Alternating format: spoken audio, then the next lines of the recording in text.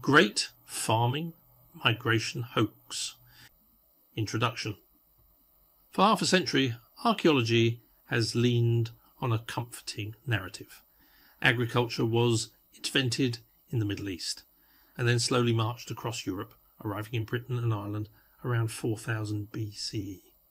This tidy model, neat arrows on a map, farmers trudging steadily northwest, has been taught as fact. Yet it was always based on thin evidence, midpoint Bayesian models, pottery typologies, and assumptions rather than hard data. Today, however, we have something the 20th century archaeologists did not a dataset of 14,000 calibrated radiocarbon dates drawn from Mesolithic and Neolithic contexts across the continent. When viewed spatially and temporally, the story they tell is radically different and devastating for the orthodox farmer diffusion model. What the time lapse reveals, uh, using the Google Earth KML time slider, we modelled activity from 8500 BCE to 2500 BCE. Binned into 500 year intervals, the pattern is unmistakable. Northwest Europe lights up earliest and densest.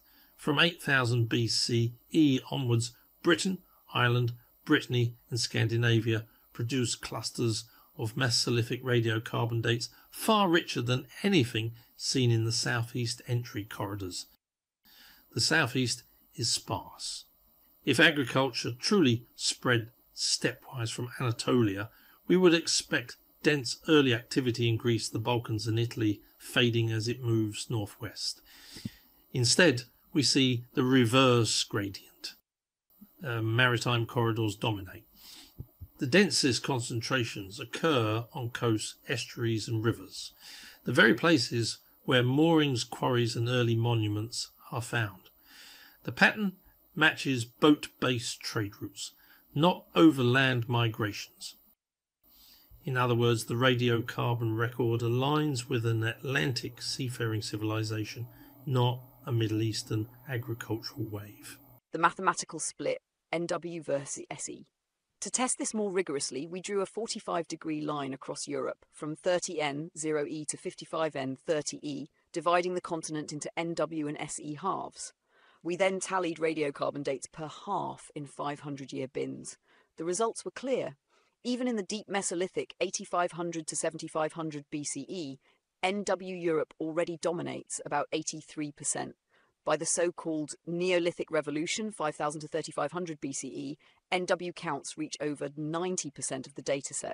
At no point do SE dates approach parity with NW.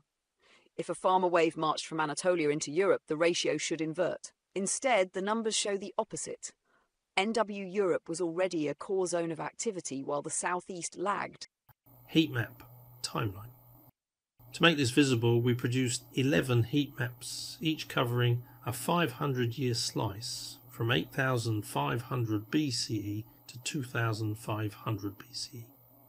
Every dot is a dated site.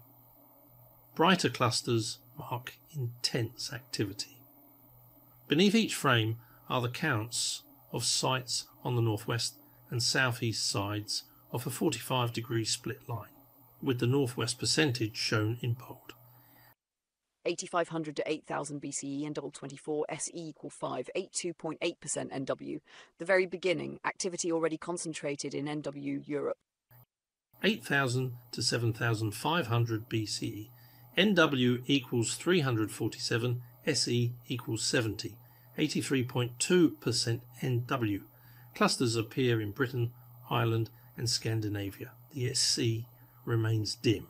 7500 to 7000 BCE, NW equals 513, SE 64, 87.5% NW.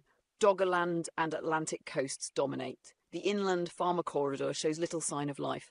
7000 to 6500 BCE. NW equals 1054, SE equals 112. 90.4% NW. Monumental centres in Ireland and Brittany appear. Maritime connections intensify. 6500 to 633, C equal 172, 93.1% NW. The NW explodes with dense occupation. The SE corridor barely registers.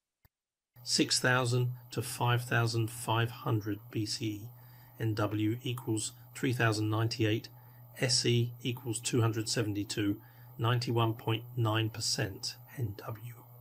By this point, the Neolithic revolution should be sweeping from the SE. Instead, the reverse gradient persists.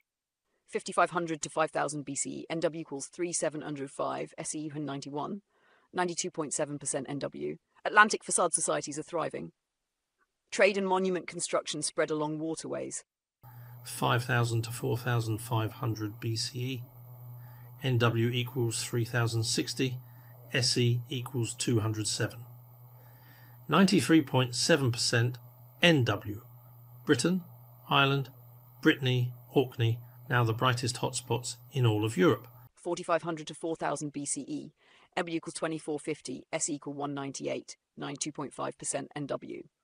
Traditional textbooks mark this as the arrival of farming. The radiocarbon record shows NW societies were already long established. 4000 to 3500 BCE. NW equals 2100. SE equals 180. 92.1% NW Carrowmore, Knowth and Orkney flourish, part of an Atlantic wide monument network. 3500 to 3000 BCE, NW equals 1700, SE equals 160, 91.4% NW. The NW remains dominant right through to the classic Neolithic horizon. The farmer diffusion story collapses across all bins. NW Europe consistently holds 85 to 94% of activity. The southeast never rises above 17%. If civilization was spreading from Anatolia, the early density would be in the SE. Instead, the gradient is reversed. Why the orthodoxy failed? Why did the Overlon diffusion model persist so long, despite cracks in the evidence? Several reasons stand out. Dating limitations. Radiocarbon plateaus, e.g., around 8000 BCE and 2400 BCE, blur sequences, letting midpoints masquerade as precision. Contamination choices. Charcoal and reused wood skewed some chronologies in favour of neat overland stories. Narrative inertia, training and peer review reward conformity. Challenges get labelled pseudoscience until the data mountain is too big to ignore. Textbook simplification. Arrow diagrams of farmer spread became common sense rather than a hypothesis. This is why anomalies, early Stonehenge canals mislabeled as Saxon, imported wheat at Bouldnor Cliff long before local farming, were sidelined, not integrated. Case study The diffusion null model, math and map. To be academically fair, let's model what the record should look like under the orthodox demic diffusion hypothesis first formalised by Ammerman and Cavalli Sforza in 1971 and developed through the 1980s and 1990s. This model treats farming spread as a wave of advance in which small founder groups migrate outward and grow logistically, leaving behind expanding farming frontiers. 1. Wave speed and arrival time. Ammerman and Cavalli Sforza calculated a characteristic front speed of approximately 1 km per year later supported by archaeological synthesis, for example, Pinhasi et al. Distance Anatolia, southern Britain approximately 3,000 kilometres. At 1 kilometre per year, farmers would take approximately 3,000 years to arrive. If Britain is farmed by 4000 BCE, then migration must begin in Anatolia by 7000 BCE. 2 seeding Britain with about 5,000 farmers by 4000 BCE. Demographic models suggest that to establish farming, at least 5,000 individuals are needed as a founding population in Britain by 4000 BCE. With a modest growth rate of about 1.3% per year, 100 settlers arriving by 4300 BCE could, in theory, grow to 5,000 by 4000 BCE. But for 100 to reach Britain after 3,000 kilometres of staged settlement, the Anatolian stream must be much larger. If half settle every 500 kilometres, survivors equal 3%, requiring about 3,200 to launch.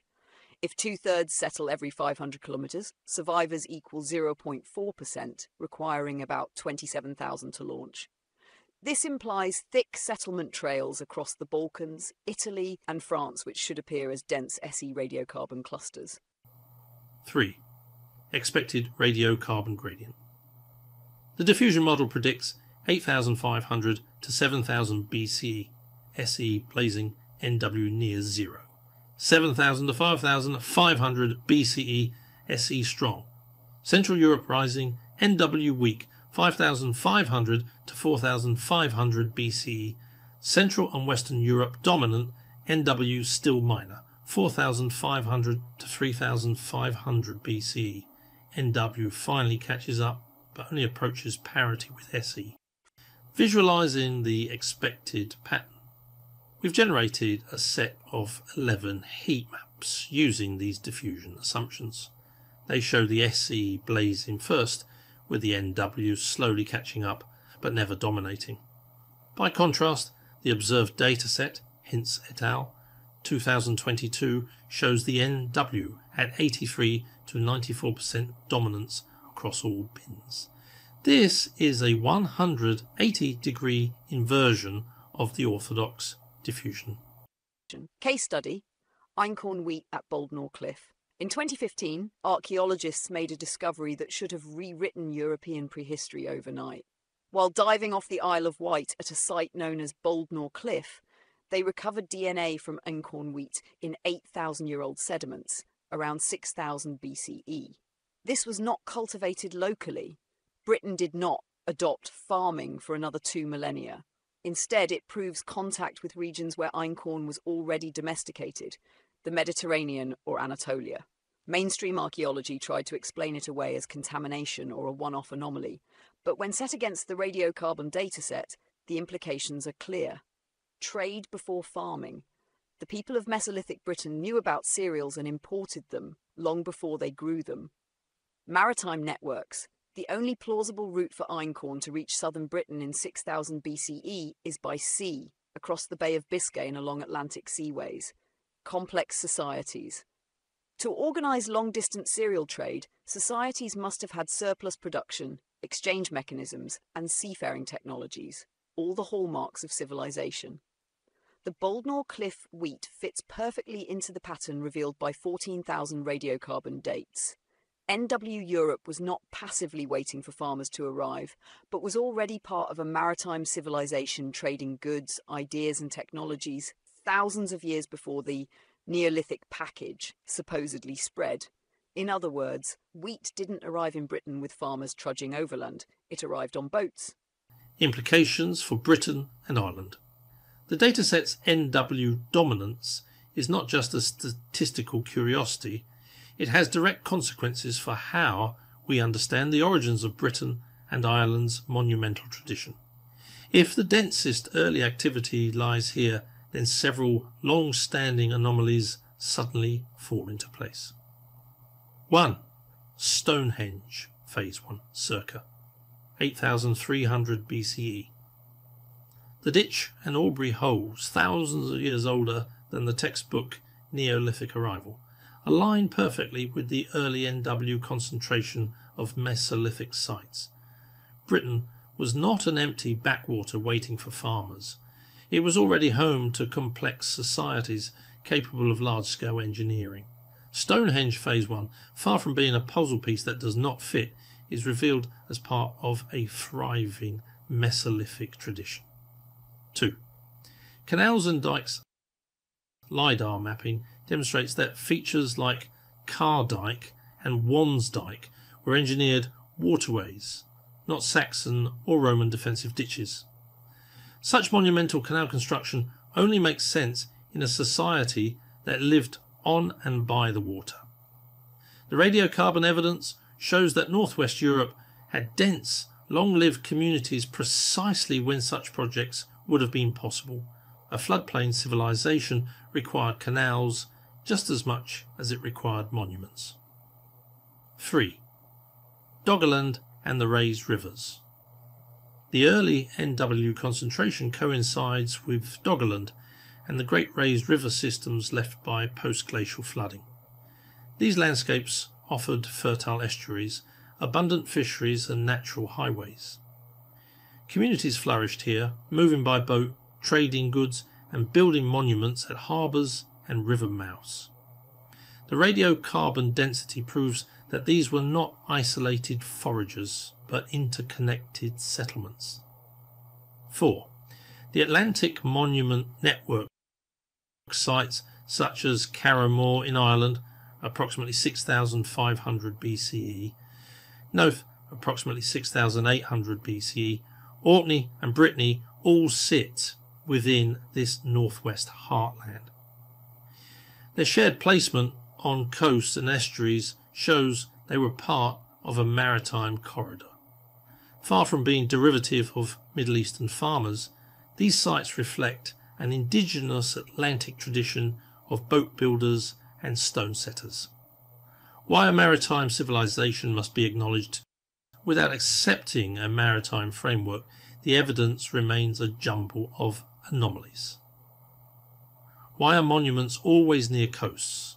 Why do dikes follow paleo channels? Why does imported wheat appear at Bouldnor Cliff millennia before farming is adopted locally? Why do radiocarbon clusters appear in northwest Europe long before Anatolian farmers supposedly arrived? The only coherent answer is that northwest Europe hosted a maritime civilization, seafaring, trading, and monument building long before the plough reached its shores. Why it matters. Textbooks are obsolete. Bayesian midpoint models and diffusion myths cannot compete with 14,000 hard C14 data points. Methodology must evolve. Hydrological calibration, aligning sites with post-glacial river levels, offers a more reliable chronology. Archaeology must confront bias. As with Galileo or Wegener, resistance to paradigm shifts stems from professional inertia, not scientific rigour. Conclusion The evidence of 14,000 radiocarbon dates cannot be ignored. NW Europe was a Mesolithic civilization zone, not a backwater waiting for farmers.